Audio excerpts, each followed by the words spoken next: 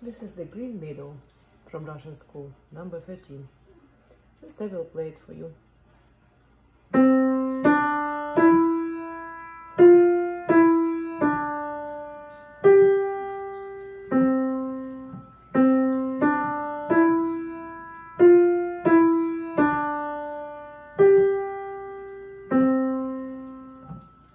To learn this piece, make sure to understand which hand plays first. first you need to start from the left hand, then two notes in the right hand, back to left hand, right hand, left hand, and here is the counting. There are two quarter notes, so it means you count like this. One,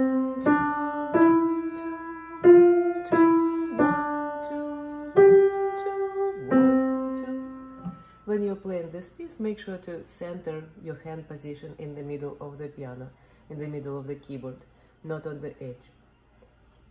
The next piece is number 14, and it sounds like this.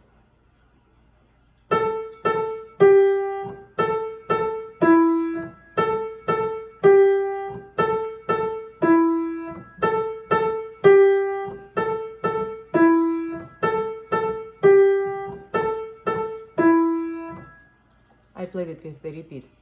So uh, easy to learn. There are only uh, two notes in the left hand, G and E.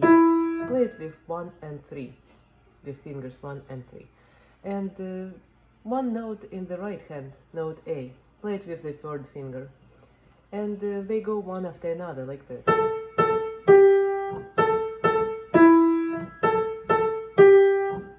So when you're playing this, again, center the hand position, play by the fingertip, and make sure to count. Counting is following.